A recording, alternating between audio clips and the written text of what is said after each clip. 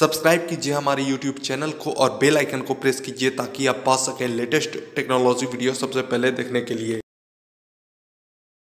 तो सैमसंग के कुछ डिवाइसेस में न्यू सॉफ्टवेयर अपडेट सैमसंग ने रोल आउट कर दिया है। तो कौन कौन से हैं वो डिवाइसेस कितने साइज़ का अपडेट फ़ाइल क्या कुछ इंप्रूवमेंट्स किया गया है? क्या कुछ नए फीचर्स को ऐड किया गया है?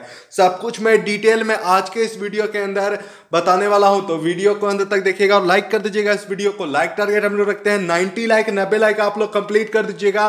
और चैनल पे अगर पहली बार आए तो चैनल को सब्सक्राइब करके बेल आइकन को ज़रूर से प्रेस कर दीजिएगा। नमस्कार दोस्तों, मेरा नाम है पीयूष और आप देख रहे हैं टेक दोस्त तो चलिए इस वीडियो को स्टार्ट करते हैं।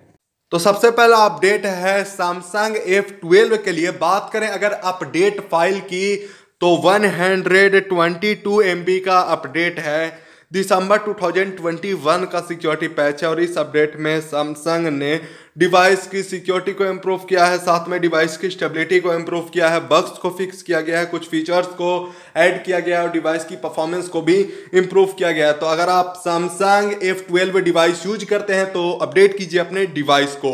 बढ़ते हैं नेक्स्ट अपडेट की ओर तो अगला अपडेट है ए टेन के लिए बात करें अपडेट फ़ाइल की तो 196 MB का अपडेट है। जनवरी 2022 का सिक्योरिटी पैच मिल जाता है और इस अपडेट में सैमसंग ने डिवाइस की सिक्योरिटी को इम्प्रूव किया गया है, साथ में डिवाइस की स्टेबिलिटी को इम्प्रूव किया गया है बग्स को फिक्स किया गया है, कुछ फीचर्स को ऐड किया गया है और डिवाइस की परफॉर्मेंस को भी इम्प्रूव किया गया है। तो अगर आप Samsung A ten device use करते हैं तो अपडेट कीजिए अपने डिवाइस को।